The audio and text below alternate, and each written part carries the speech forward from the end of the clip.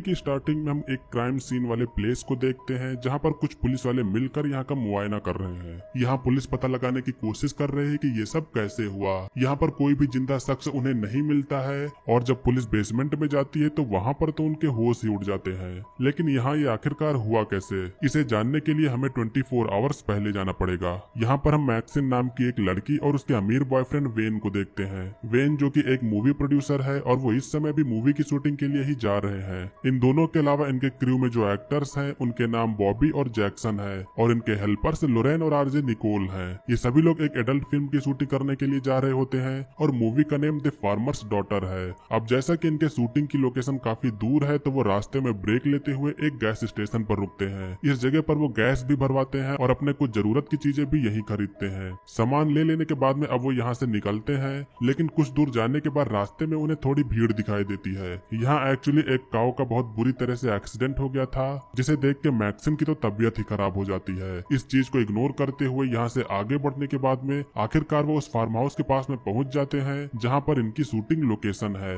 अब यहाँ पर आने के बाद में वेन कार को रोक कर घर के मालिक से मिलने के लिए जाता है। वेन डोर पर नॉक करता है तो अंदर से जो ओल्ड बंदा निकलता है, वो वेन पर गन पॉइंट करते हुए कहता है कि तुम यहाँ पर क्यों आए हो? यहाँ पर किसी का आना अलाउ नहीं है। लेकिन अब वेन कहता है कि हमारी फ़ोन पर बात हुई थी और मैं वो नहीं हूँ जो आप सोच रहे हो। जिसके बाद में ये ओल्ड बंदा, जिसका नाम हॉवर्ड है, उसे ध्यान आ जाता है और वो इन सभी को पास के कैबिन के पास में चलने को कहता है। अब इधर जब बाकी लोग कार से उतर रहे होते हैं तो मैक्सिन को घर के खिड़की पर कोई अजीब सा शख्स घूरते हुए दिखता है, लेकिन मैक्सिन इस बात को इग्नोर करके आगे चली जाती है। हॉवर्ड इनको कैबिन दिखाते हुए कहता है कि ये जगह अब तुम लोगों की है, बस कुछ ऐसा मत करना जिससे मेरी वाइफ को डिस्टर्बेंस हो। वेन भी हवर्ड को कुछ एडवांस पैसे दे देता है, जिसके बाद में हवर्ड यहाँ से चला जाता है। हवर्ड घर की ओर जाता है और फिर वो अपने ट्रक से कहीं और चला जाता है। अब इसके बाद में इस तरफ़ ज़्यादा देरी न करते हुए, वेन सभी को शूटिंग स्टार्ट करने को कहता है। अब जैसा कि ये एक पोर्न मूवी है तो उसी के अकॉर्डिंग यहाँ पर इंटीमेशन की शूटिंग स्टार्ट हो जाती है। लोरेन को ये सब काफ़ी वियर्ड लग रहा था, क्योंकि उसे लगा था कि कोई नॉर्मल एडल्ट मूवी होगी, लेकिन ये तो पोर्न मूवी होती है। इस तरफ़ अब मैक्सिन सिगरेट पीने के लिए बाहर निकलती है, जिसके बाद में अब वो टहलते हुए पास के जंगल के करीब जाने लगती है। वहाँ जाने पर उसे एक लेक दिखती है, और फिर मैक्सिन का यहाँ पर नहाने का मन होने लगता है। मैक्सिन अपने कपड़े उतारती है, लेकिन हम उसके पीछे देखते हैं कि कोई शख्स खड़ा है। लेकिन इस बात से बेखबर मैक्सिन लेक में नहाने के लिए चली जाती है। अब कुछ देर बाद में नहा लेने के बाद में जब वो लेक से बाहर निकलने वाली होती है तो उसके पीछे से एक क्रोकोडाइल उसकी ओर आने लगता है। मैक्सिन को ये बात नहीं पता चल पाती है, लेकिन जब तक क्रोकोडाइल उसके नज़दीक आता है, उससे पहले ही मैक्सिन बाहर निकल जाती है। वो वापस कैबिन की ओर जाती है, जहाँ उसे घर के पास एक ओल्ड लेडी उसे बुलाते हुए दिखती है। मैक्सिन को ये थोड़ा अजीब लगता है, लेकिन वो कुछ सोचे समझे उस घर की ओर चली जाती है। घर के अंदर जाने पर वो यहाँ की बुरी हालत को देखती है और तभी वो ओल्ड लेडी पीछे से आके कहती है कि क्या तुम नींबू पानी पियोगी? दोनों लोग बैठ के लेमिनेट पीते हैं और फिर बाद में दोनों के बीच में कुछ बातें होती हैं। वो ओल्ड लेडी मैक्सिन से कहती है कि मैं भी कभी तुम्हारी तरह सुंदर थी, लेकिन अब पूरे हालात बदल चुके हैं। ऐसा कहकर वो उसे छूने की भी कोशिश करती है, लेकिन तब तक बाहर हावर्ड आ जाता है, जिसके बाद में वो ओल्ड लेडी मैक्सिन को यहाँ से चुपके से चले जाने को कह देती है। अब मैक्सिन पीछे के दरवाजे से निकलकर कैबिन की ओर जाती है तो फिर वेन उससे पूछता है कि तुम कहाँ थी, क्योंकि अब उसकी बारी आने वाली थी। इस तरफ़ हावर्ड को पता चल चुका है कि उसके घर कोई आया था। अब मैक्सिन के साथ में एक्ट शूट किया जाता है। जैसा कि ये पोर्न मूवी की शूटिंग है तो जैक्सन बॉबी के बाद अब मैक्सिन के साथ में इंटीमेट होता है। भले ही मैक्सिन वेन की गर्लफ्रेंड है। इधर मैक्सिन को देखने के बाद में इस ओल्ड लेडी के अंदर भी फीलिंग जाग गई थी। इसके बाद जब वो कैबिन के करीब जाती है तो वो खिड़की से मैक्सिन को इंटीमेट होते हुए देखती है। इसे देख के उस ओल्ड लेडी के और भी अरमान जाग जाते हैं। अब वो घर पर आती है तो तैयार होकर वो हावर्ड के पास जाती है। वो हावर्ड को सेड्यूस करने की कोशिश करती है, लेकिन हावर्ड कहता है कि वो कुछ नहीं कर सकता। वो बूढ़ा हो गया है और उसका हार्ट भी कमज़ोर है। ये सुनने के बाद में ओल्ड लेडी अपना मन मार के बिस्तर पर सोने के लिए चली जाती है, लेकिन उसके माइंड में अब तो कुछ और भी खतरनाक घूमने लगता है। इस तरफ़ रात में शूटिंग के बाद में अब सभी साथ में बैठे थे तो लोरेन सभी से कहती है कि वो भी इस मूवी का हिस्सा बनना चाहती है। इस मूवी का हिस्सा बनने के लिए उसे जैक्सन के साथ में इंटीमेट वाला सीन देना पड़ेगा। लेकिन उसका बॉयफ्रेंड आरजे इस बात के लिए नहीं होता है। एक तो वो अपने मूवी की राइटिंग में फेरबदल नहीं करना चाहता और दूसरा कि वो अपनी गर्लफ्रेंड को किसी दूसरे के साथ में नहीं देख सकता। दोनों के बीच में इसी पर बहस होती है, लेकिन वेन फिर बाहर जाके आरजे को समझाता है कि ये सिर्फ़ मूवी का एक सीन होने वाला है, इससे ज़्यादा कुछ नहीं होगा। आरजे अभी भी रेडी नहीं होता है, लेकिन लॉरेन ऐसा करने के लिए काफ़ी एक्साइटेड थी। अब यहाँ पर एक बार फिर से शूटिंग स्टार्ट होती है, जो न चाहते हुए भी आरजे को शूट करना पड़ रहा है। आरजे इस बात से बेहद ही दुखी हो जाता है कि उसकी गर्लफ्रेंड किसी और के साथ में फ़िज़िकल निकल हुई है। वो इस बात पर इतना गुस्सा हो जाता है कि अब वो कार की चाबी उठाकर अकेले ही यहाँ से जाने लगता है। अब यहाँ से जाते हुए रास्ते में उसे वही ओल्ड लेडी सामने दिखती है। आरजे कार रोककर उसके पास में जाकर पूछता है कि क्या हुआ है आपको? आप यहाँ क्या कर रही हो? जिसके बाद वो ओल्ड लेडी आरजे के करीब होकर उसे भी सेड्यूस करने लगती है। मगर जब आरजे उससे दूर जाने लगता है तो फिर वो ओल्ड लेडी चाकू निकालकर उसे मार देती है। वो उस पर कई बार चाकू से स्टैब करती है। इसको मारने के बाद मानो अब इस लेडी को प्लेजर मिल रहा हो। अब वो कार की चाबी लेती है और यहाँ से चली जाती है। इस तरफ़ लोरेन जब नींद से जगती है तो वो पास में आरजे को नहीं पाती है। इसके बाद वो बाहर जाकर आरजे को देखने जाती है। लेकिन वो यहाँ पर भी नहीं होता। अब वो वेन के पास में जाती है और कहती है कि आरजे उसे नहीं मिल रहा। वो कहीं पर चला गया है। वेन कहता है कि कार यहीं खड़ी है तो वो भी यहीं कहीं ही होगा।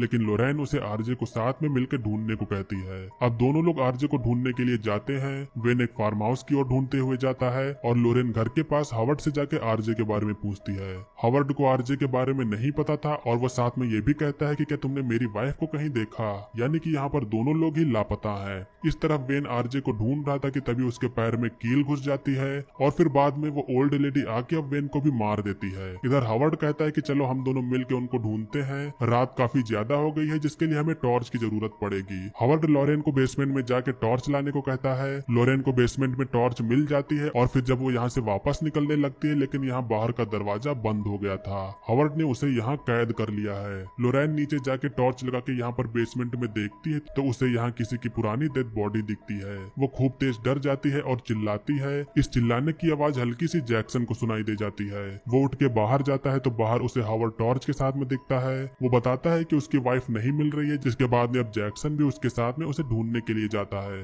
जैक्सन और हावर्ड दोनों लोग पास के उसी लेक के पास में जाते हैं, क्योंकि यहाँ पर क्रोकोडाइल्स है, शायद वो इन्हीं के बीच में ना हो। जैक्सन जाके दूसरी साइड में देखने लगता है, जिसके बाद में उसे यहाँ पर कुछ कार्स पानी में पड़ी हुई दिखती हैं। इसे देखकर जैक्सन को कुछ थोड़ा सा शक होता है। वो पानी से बाहर निकलता है और हावर्ड यहाँ पर उसके सामने था। हावर्ड भी समझ गया है कि इसे कुछ शक होने लगा है, जिसके बाद में वो इसे मार देता है। इधर लोरेन बाहर निकलने की कोशिश में होती है, लेकिन उससे कुछ भी नहीं होता।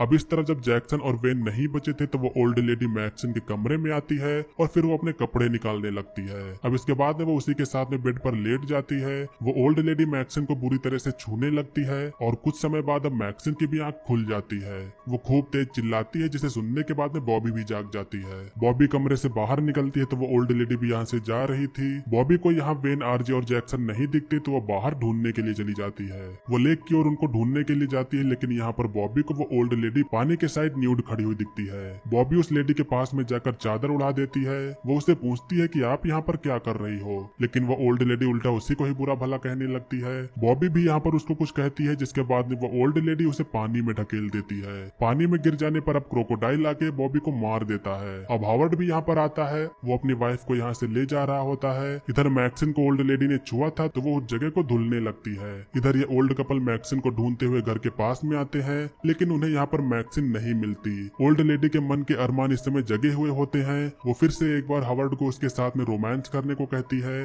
अब ना चाहते हुए भी हवर्ड को उसके वाइफ के साथ में रोमांस करना पड़ता है। दोनों लोग साथ में इंटीमेट होते हैं और इधर हम यहाँ पर ये देखते हैं कि मैक्सिन उनके बेड के नीचे छिपी होती है। मैक्सिन अब वहाँ से चुपके से निकल बाहर की ओर जाती है। वो सीधा कार की ओर जाती है। कार के पास में जाने पर उसको आरजे की डेथ बॉडी दिखती है। इसी दौरान उसको लोरेन के भी चिल्लाने की आवाज़ आती है। वो अब घर की ओर जाके लोरेन के पास जाती है। मैक्सिन लोरेन को छुड़ा लेती है, लेकिन छूट जाने के बाद में लोरेन मैक्सिन से गुस्सा थी, क्योंकि वो उसी के कहने पर यहाँ पर आई थी। अब लोरेन बाहर की ओर भागने लगती है, लेकिन एक बुलेट शॉट से वो मारी जाती है। ये गोली हावर्ड ने चलाई थी। इन दोनों ने यहाँ पर कई लोगों को मार दिया है। अब ये दोनों यहाँ पर इन बॉडीज को ठिकाने लगाने की कोशिश करते हैं। हावर्ड लोरेन की बॉडी को खींच के लाता है, लेकिन इसी दौरान उसको हार्ट अटैक आ जाता है, जिसके बाद में उसकी मौत होती है। इसे देखकर मैक्सिन अब गन पॉइंट करके बाहर निकलकर उस ओल्ड लेडी से ट्रक की चाबी पूछती है। वो ओल्ड लेडी बता देती है कि चाबी वहाँ पर अंदर रखी है, जिसके बाद में मैक्सिन जल्दी से अब चाबी उठाती है। मगर वो ओल्ड लेडी फिर से अपनी गन उठा के मैक्सिन पर शूट कर देती है, लेकिन गन का बैकवर्ड प्रेशर इतना ज़्यादा था कि वो ओल्ड लेडी भी साथ में पीछे उड़ जाती है।